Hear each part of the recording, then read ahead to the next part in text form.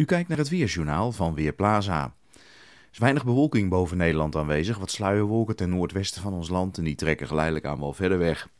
In de loop van de ochtend hier en daar wat sluierwolken, maar verder schijnt de zon flink en de nevel en mist verdwijnen vlot.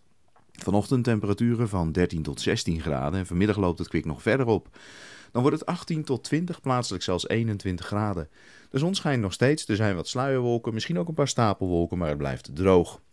In de avond zou er hier en daar een enkel buitje kunnen vallen, maar ook dan is het op de meeste plaatsen droog met brede opklaringen. Temperatuur in de avond zo rond de 15 graden. En dan gaan we naar morgen, dan krijgen we toch een ander weerbeeld, want de zon heeft het heel moeilijk. Er vallen van tijd tot tijd buien, met name in het zuidoosten van het land. Temperaturen doen ook een stap terug, 13 tot 16 graden, wat normaal is voor de tijd van het jaar. Temperaturen lopen zondag misschien weer een graadje op, maar ook dan vrij veel bewolking en met name in de zuidoostelijke helft van het land stevige buien.